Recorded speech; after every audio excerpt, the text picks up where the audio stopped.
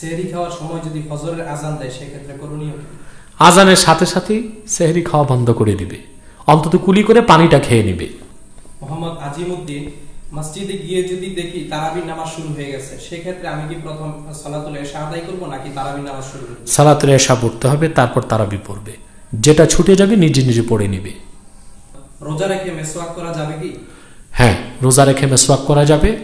তবে তিতা অংশটার জন্য ভিতরে না যায় চেষ্টা করতে হবে বাইরের জন্য ফেলে দেয়। আর ভিতরে গেলেও রোজা নষ্ট হবে না। কোনো ব্যক্তি রোজা রাখা অবস্থায় যদি এক ওয়াক্ত নামাজও না আদায় করে সেক্ষেত্রে রোজার কোনো সমস্যা হবে কি?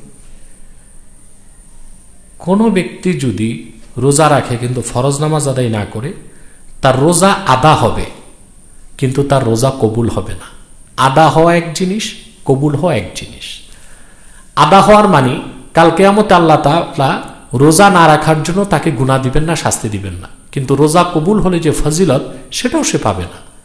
কারণ রসুল করিম সাসমের হাদিস আছে রসুল্লাহ সাসমের সাদ করেছেন, যে ব্যক্তি রোজা রাখল, কিন্তু ইয়াদা কৌল জুর মিথ্যা কথা ছাড়লো না, কিবর শেখায় ছাড়লো না। তো ফালাইসালিল্লাহি হাজাতুন আয়াদা আশারা বাহু অত আমাহু তাহলে আল্লাহ রব্বুল আলমের এতে কিছু আসে যায় না, যে সে পানাহারকে বর্জন করছে। বা রোজা রেখেছে এতে আল্লাহর কিছু আসে যায়? না। তো সে যে ভাই রোজা রাখলেন কিন্তু একক তো নামাজ পড়লেন না তিনি তো বড় দরজার ফাঁসে তো তার রোজাটা আদায় হয়ে যাবে কিন্তু রোজার ফজিলত থেকে সে বঞ্চিত হবে। নূর ইসলাম রোজা রেখে ব্রাশ করার হ্যাঁ রোজা রেখো ব্রাশ করা যাবে এবং ফাতোয়ার কিতাবে এসছে মাজনও ব্যবহার করা যাবে।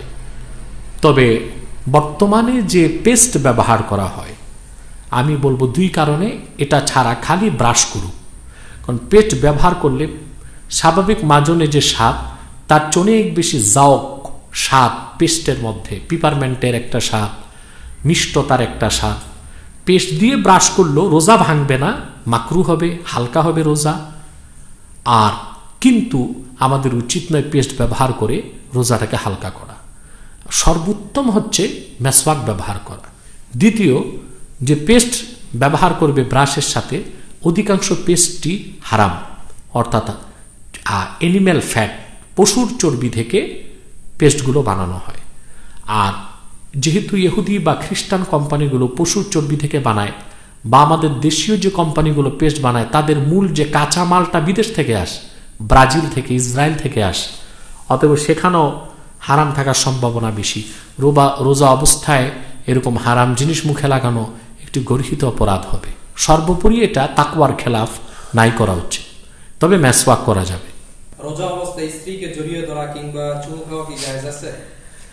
রোজার সময় স্ত্রীকে জড়িয়ে ধরা বা চুমু খাওয়া জায়েজ আছে।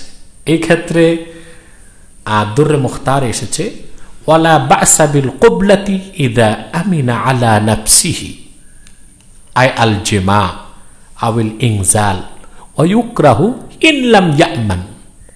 কোনো ব্যক্তি যদি দিনের বেলা, রাতে তো জড়ায় ধরার চুমা নয়, সবকিছুই চলবে স্ত্রীর সাথে। রাতে সবকিছু আল্লাহর পক্ষ থেকে চাইজ করা আছে। দিনে রোজা অবস্থায় কোনো ব্যক্তি যদি তার স্ত্রীকে জড়িয়ে ধরে বা চুমো দেয়, সে যদি তার উপর কন্ট্রোল থাকে, কি কন্ট্রোল ইদা আমিনা আলা নাফসিহি আই আল জিমা আউল ইংজাল। এ দিয়ে বোঝানো হয়েছে যে চুমু দিলে সে সহবাসে লিপ্ত হবে না, অথবা সহবাস ছাড়াই তার বীর্যপাত হবে না। এতটুক কন্ট্রোলিং পাওয়ার যার থাকবে, এতটুক সংযমী যদি হতে পারে, তাহলে সে দিনের বেলা রোজা রেখে স্ত্রীকে চুমু দিতে পারবে, জড়িয়ে ধরতে পারবে। ইনলাম ইয়ামান, আর যদি এতটুক কন্ট্রোলিং পাওয়ার বা সংযম না থাকে, তাহলে তার চুমা দেওয়া মাকরু হবে। রমজানে রাত্রেবেলা স্ত্রী সহবাস করলে এবং সেরি খাওয়ার পর যদি সকালবেলা গোসল করে, এতে কোনো সমস্যা রয়েছে কি? এখন যে ভাই রাত্রি স্ত্রী সহবাস করবেন আর গোসল করবেন সকালবেলা, তিনি ফজর নামাজ কি করবেন? তার তো অবশ্যই ফজর নামাজ পড়ার জন্য অন্তত গোসল করতে হবে। হ্যাঁ দেখা গেল যে তিনি স্ত্রী সহবাস করলেন, আর সেহেরি করে ঘুমিয়ে গেলেন, উঠবেন বলে, কিন্তু উঠতে পারলেন না। সকাল হয়ে গেল। তখন তিনি গোসল করবেন, এতে তার রোজার কোনো সমস্যা হবে না। গোসল ফরজও আদায় হবে, তবে গোসলের সময় সতর্ক থাকবেন, নাকের পানি যেন মাথায় না যায়, আর গড়গড়া করবেন না, শুধু কুলি করবেন। একটা প্রশ্ন ছিল ইনসুলিন নেওয়া যাবে কিনা রোজা হ্যাঁ রোজা অবস্থায় ইনসুলিন নেওয়া যাবে কারণ ইনসুলিনটা পেটেও যায় না মাথাও যায় না এটা রক্তে মিশে। তবে আহ্বাত বা এহতিয়াতপূর্ণ মাসালা যে ইনসুলিনটা আমরা সেহরির সময় নেব ইফতারের সময় নেব। একই ইমাম আলাদা আলাদা দুটি তারাবির নামাজ পড়াতে পারবে কি? না আমাদের হানাফি মাঝহাবে এটা চলবে না। মোহাম্মদ আরিফুল হক আমরা জানি রোজার একটি ভালো কাজ করলে সাত থেকে সাতশো গুণ পর্যন্ত বেশি সওয়াব দেওয়া হয়। কিন্তু কেউ যদি গুণা করে সে লক্ষ্যে কি হবে? গুণা একটি হবে। এমডি আলামি সাউসাজদা সব নামাজের বেলায় নাকি শুধু ফরজের ক্ষেত্রেই? ফরজ ওয়াজিব সুন্নত নফল আদা কাজা সকল নামাজেই যদি কোনো ওয়াজিব ছুটে যায় সাজদা সৌ দিতে হবে। মাহবুবুল আলম সিদ্দিকী তারাবির নামাজে কি প্রতি তাকবীরে তাহরিমার পর সানা পড়তে হবে? জি সুন্নত হচ্ছে সানা পড়বে। আব্দুল্লাহ আল ফয়সাল আমরা বারো বছরের হাফেজের পিছনে তারাবির নামাজ পড়ে থাকি সেটা কি সহি হবে? তারাবির নামাজটা যদি বয়স্ক হাফেজ নাই থাকে তাহলে হয়ে যাবে। তবে উচিত হচ্ছে একজন বালেক হাফেজ রাখা। কেউ যদি রোজা না রাখতে পারে তাহলে কীভাবে ফিদিয়া দিবে? এক একটি রোজার জন্য একজন মিসকিনকে প্রতিদিন দুবেলা খাওয়াবে বা দুজন মিসকিনকে দুবেলা খাইয়ে দিবে। রোজা অবস্থায় উজু করার সময় যদি ভুলবশত পেটের ভিতর পানি চলে যায় সেক্ষেত্রে রোজা কি আলাদা হয়ে যাবে? না ভুলবশত চলে গেলে কিছুই হবে না। চার রাকাত তারাবির নামাজ শেষে যে দোয়া করি সেটা কি বাধ্যবাধকতা করতেই হবে? না বাধ্যবাধকতা নেই কিন্তু চার রাকাতের পর পর মানুষ যখন বসে থাকবে আপনি কি করবেন? তার চেয়ে তো ভালো দোয়াটা পড়া। কারণ এই দোয়াতে আল্লাহর বরত্ব মহত্বের প্রকাশ করা হয়। রোজা অবস্থায় চুল কাটা ও দাড়ি এক মুষ্টি হতে লম্বা অংশ ছিটে ফেলা, নখ কাটা, মিসওয়াক করা, আতর লাগানো আমাদের মুরব্বিয়ান ইকরাম বলেছেন, শরীরের সকল অংশই রোজা থাকে, অতএব ইফতারের পরে এগুলো করা দরকার। না, এই কথাটি ভুল। রোজাদার রোজা রাখা অবস্থায় চুল কাটতে পারবে, দাড়ি ঠিক করতে পারবে, আতরও ব্যবহার করতে পারবে। এগুলো নিষেধ মোহরেমের জন্য। হজ করতে গেলে এহরাম অবস্থায় নিষেধ। এমনকি হাদিসে এসছে হাজামতের কথা। এটাও কারও কারও মতে করা যাবে। এগুলোতে কোনো সমস্যা নেই। এগুলো রোজা ভঙ্গের কোনো কারণ নয়। সাইফুল ইসলাম সালাম দিয়েছেন। আমি সৌদি আরব থেকে বলছি হুজুর তারাবি না পড়লে ওয়ালাইকুম আসসালাম হ্যাঁ তারাবি না পড়লেও রোজা হয়ে যাবে। কিন্তু রমজান মাসের পরিপূর্ণ ফজিলতের জন্য সিয়ামুল নাহারের সাথে কেয়ামুল লাইলও লাগবে।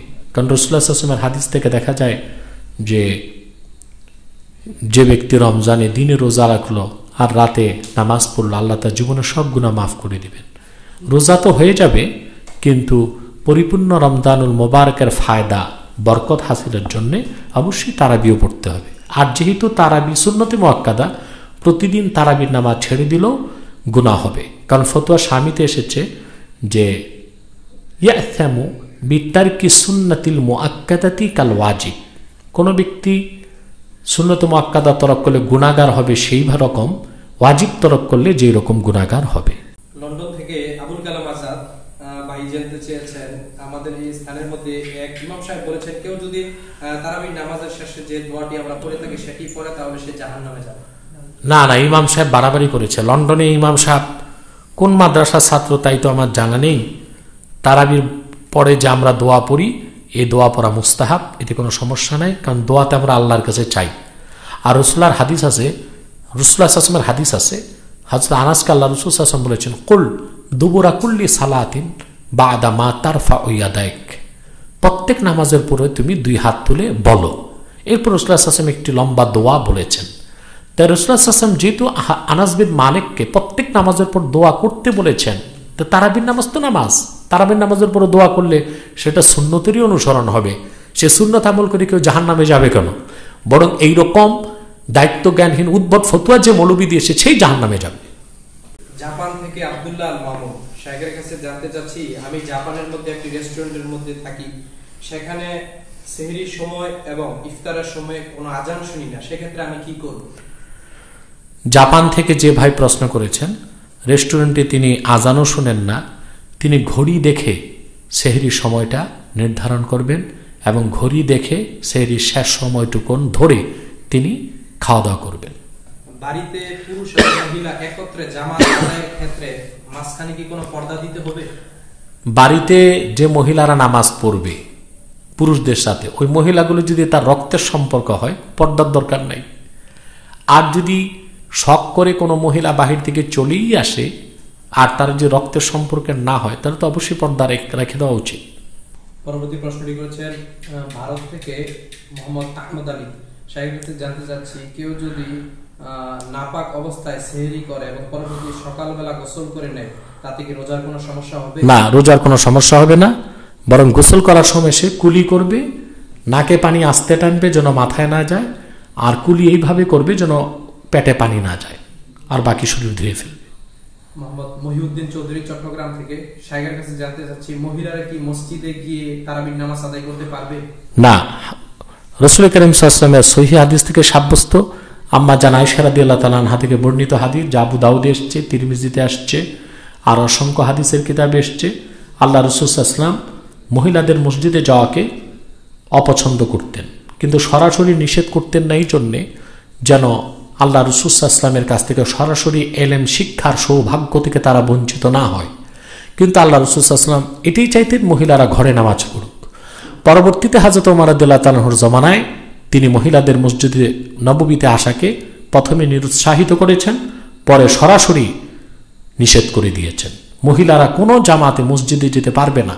বরং এই ক্ষেত্রে হানাফিদের ফাতাওয়া যা জওহারাত নাইয়ারাতে এসছে, হরুজুল মার লি হদুরিল জামাতি মাকরুহ। মহিলাদের জামাতে অংশগ্রহণ করার জন্য মসজিদের উদ্দেশ্যে বের হওয়াটাই মাকরু। আর এখানে মাকরু মানে মাকরু তাহারিমি তারাবির নামাজ একই চার রাকাত করতে পারব না চার রাকাত পড়বে না দুই রাকাত করেই পড়বে সোফ আন সোফ আ পরবর্তী প্রশ্নটি আজমেরি দরবার শরীফ থেকে শাহের কাছে জানতে চাচ্ছি তারাবির নামাজে একামত দেওয়া যাবে কি? না তারাবির নামাজে একামতের কোনো বিধান নেই। এটা সুন্নতের খেলাফ হবে। করেছেন, যে কোনোভাবে বীর্য বের হলে সাহেরির আগে গোসল করতে পারিবারিক লজ্জা পেলে সকালে গোসল করলে রোজা হবে কিনা? এক ভাই প্রশ্ন করেছেন, যে কোনোভাবে গোসল ফরজ হয়ে গেলে পারিবারিক কারণে বা লজ্জার কারণে সকালে গোসল করলে হবে কিনা? গোসল তো হয়ে যাবে, কিন্তু প্রশ্ন হলে, এই ভাই ফজর নামাজের কি করবেন? তিনি কি ফজর নামাজ বাদ দিবেন? এটা তো তার আকবরুল কাবায়ের সবচেয়ে বড় কবিরা গুণা হবে। অতএব তাকে গোসল করেই ফেলতে হবে অন্তত ফজর পড়ার জন্য হলেও। আর তারপরেও যদি কোনো কারণে সে গোসল করতে নাও পারে নামাজ কাজাও করে সকালে গোসল করলেও তার রোজা হয়ে যাবে। এতে রোজাতে কোনো বিঘ্নতা সৃষ্টি হবে না। মোহাম্মদ শহীদুল ইসলাম হিন্দু ধর্মের লোকদের সাথে কি ইফতার করা যাবে? হিন্দু লোকজনের সাথে বন্ধুত্বের কারণে যদি কেউ খাওয়া দাওয়া করে এটা তাকুয়ার খেলাফ তবে জায়জ হবে। এটা স্বাভাবিক খাওয়া দাওয়া। কিন্তু ইফতার হলো একটি এবাদত।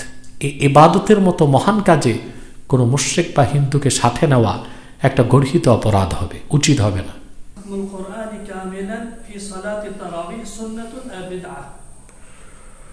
খাতমে কোরআন তারাবিহীন নামাজের মধ্যে পরিপূর্ণভাবে শেষ করা কোনো অবস্থায় বেদাত নয় বরং এটাও সুন্নাত। নুসরাত স্বপন, হুজুর মহিলারা সালাতে জোরে পড়তে পারবে? না, মহিলারা নামাজে জিকির, ফিকির কোনো এবাদতে তাদের কণ্ঠকে বড় করতে পারবে না, কারণ হেদায় সরা এনায়েতে এসেছে যে সাউতুল আওরাতে আওরাতুন, মহিলাদের কণ্ঠটাও পর্দা। অতএব ধীরে ধীরে এবং আস্তে আস্তে তেলাওয়াত করবে। তবে মহিলা তার ঘরের ভিতর পর্দার পরিবেশে এতটুকাও যে পড়তে পারবে যে সে নিজে শুনে।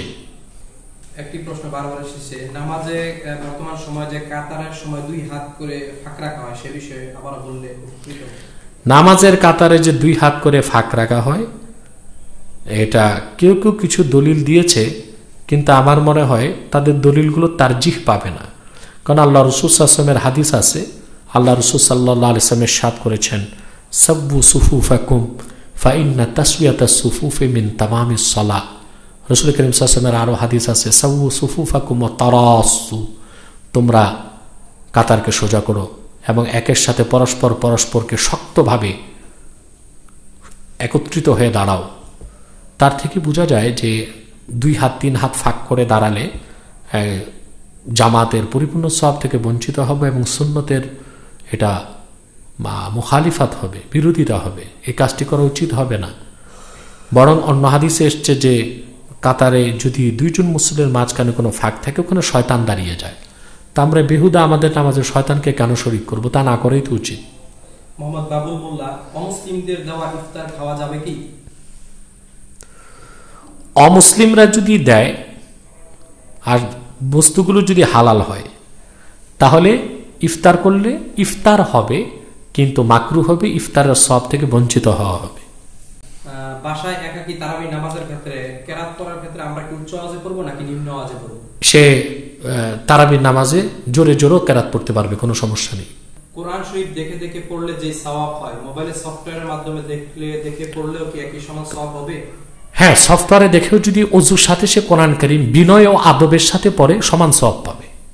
স্বামী স্ত্রী যদি একত্রে আদায় করে সেক্ষেত্রে দুজনের মধ্যে কি স্ত্রী কি একামত দিবে? না স্ত্রী একামত দিবে না স্বামী একামত দিবে। কারণ স্ত্রী একদিন একামত দিলে আরেকদিন ইমামতিতে দাঁড়িয়ে যাবে। সমস্যা আছে? ভারত থেকে মোহাম্মদ ইসা খান তারাবি টাকা তুলে সেগুলো মসজিদে কি ব্যয় করা যাবে? এটা উচিত হবে না কারণ তারাবির টাকার হকদার হচ্ছে যিনি তারাবি পড়ান তিনি। তো তার হক নষ্ট না করে মসজিদের হকে দিবেন কেন? আল্লাহ তালা কি বলেছেন? আল্লাহ রসুলাম বলেছেন ফাতি কুল্লাদি হকিন হক প্রত্যেক হকদারকে তার হক বুঝিয়ে দাও। মসজিদের হক ইমামের জন্য জায়েজ না আর ইমামের হক মসজিদের জন্য জায়েজ না। ওটা ইমামের হক ইমামকে দিতে হবে। প্রথমে যদি সলাতুল এশা তারপর এবং ধারাবাহিকভাবে শেষে তারাবি নামাজ পড়ি তাতে কি কোনো সমস্যা রয়েছে? সমস্যা নয় তবে উত্তম হবে ফরজ এশা তারপর দুই রেখা শূন্য তারপর তারাবি তারপরে তাহাজ্য এই তারপরে ওয়েতের। বর্তমানে করোনার পরিস্থিতিতে কোন হিন্দু যদি কোনো মুসলমানদেরকে ত্রাণ দেয় সেক্ষেত্রে সেটি নেওয়া কি জায়েজ হবে? ত্রাণ দেওয়া নেওয়া কোনো হিন্দু যদি ত্রাণ দেয় বিত্তমান হিন্দু সে তো কোনো ফায়দা পাবে না। সে মানবিক কারণে যদি ত্রাণ দেয় গরিব মুসলিমরা তা নিতে পারবে। এতে সমস্যা রমজান মাসে যদি কেউ মারা যায়, তাহলে সে জান্নাতে যাবে। এই কথাটি কি সঠিক? রমজান মাস যেহেতু বরকতের মাস, আর যদি সে ইমানদার হয়, অর্থাৎ তার আমল নামায় কোনো শ্যারেক কুফর না থাকে গুণা থাকে, আশা করা যায় রমজানের বরকতে আল্লাহ তারা মাফ করে দিবেন।